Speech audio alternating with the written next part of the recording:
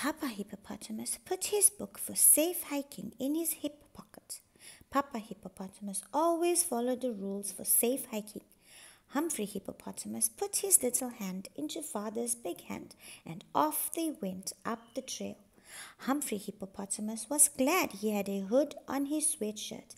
In the hills, the weather is cooler than at home.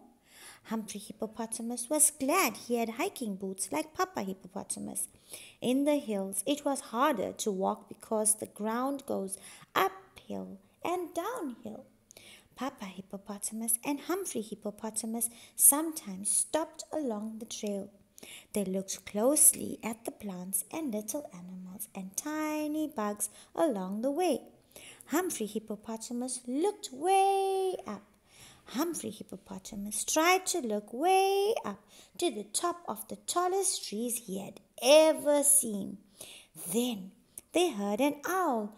Hoo-hoo! Hoo-hoo! I think that Mr. Owl is trying to tell us to keep on hiking, laughed Papa Hippopotamus. Mr. Owl does not want us to stay here. This is his home. Humphrey Hippopotamus and Papa Hippopotamus hiked a little further. They came to a place where there were no trees. The grass was growing tall. There were pink and purple flowers everywhere. May I pick some pink and purple flowers? asked Humphrey Hippopotamus. I would like to take some flowers back to Mommy Hippopotamus. Yes, you may pick some flowers to take back to Mama Hippopotamus, answered Papa Hippopotamus. Be sure to choose the ones with the longest stems. After Humphrey Hippopotamus picked a few flowers for Mama Hippopotamus, he and Papa Hippopotamus headed back to the campground.